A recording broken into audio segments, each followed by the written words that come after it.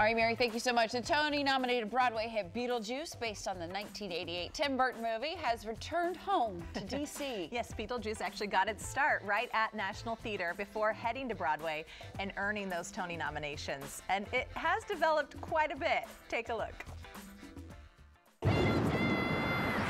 It's showtime. Welcome to a show about death. I'm gonna need some help.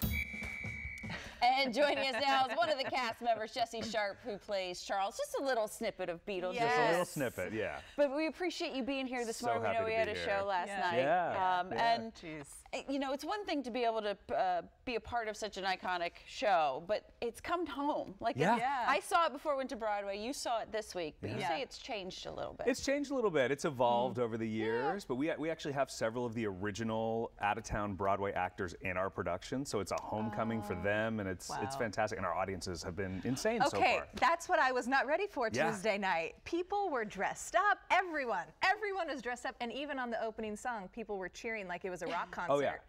No, no pressure. for- Before we walk out, Before it's like, anything okay, well, we better deliver. Yeah, Yeah. is that every audience like that? Nearly every audience, yeah. You're kidding. It's the show has taken on a life of its own. You know, the original Broadway production had such a TikTok presence, and there's just this amazing Oh. swell of like young theater audiences who love it. And there's Hmm. people like me who grew up with the original movie, Yeah. so Movie, it's it's yeah. uh, you know it's it's really special. It and that's was one of the cool things because you haven't seen the movie. I've never don't seen. call you.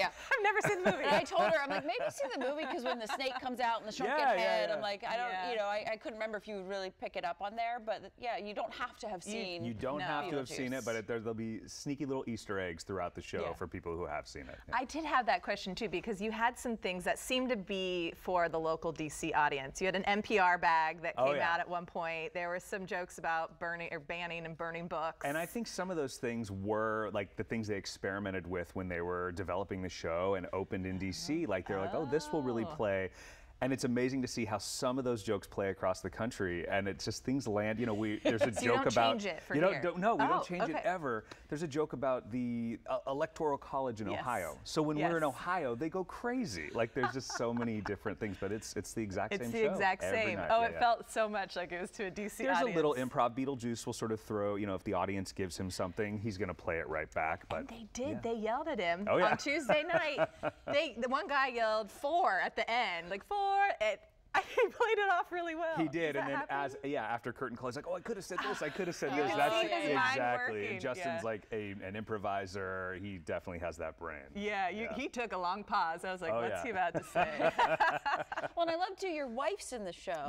Yes. And you guys are traveling. You got your pup that you travel We have with. our, our dog Chip. Uh, my wife Lexi's a swing on the show, and we met 10 years ago on tour with the Addams Family musical. So we've been sort of doing this crazy awesome. carnival You get life. to do it together. We get to do it together. Because We're I know very lucky. touring can be. It's a long Yeah. haul. Oh, it's a long haul. Yeah, yeah, yeah. Yeah. No, we have each other, and we drive all over the country with our nine-pound little Chihuahua. wow. That's so. Are you doing anything while you're here in DC? Honestly, um, we're, we're living in the Logan Circle area. We have a little Airbnb, so I'm just exploring the neighborhood. It's amazing Yeah. to to actually get to be in DC and not just go to monuments and museums, Yeah. which we're doing that too. But I'm like, Yeah. no, this is a neighborhood where people live. Like, it's very yeah, cool. and not too far from the theater. Not too far Yeah, at all. yeah. Well, and you've been super busy, not just theater, but lots of TV work. You were on her favorite show. The marvelous Mrs. Maisel. Congratulations. Thank you. Uh, yeah. you my- played a TV reporter. I played a TV reporter. Yeah. I hope I did all right. yes.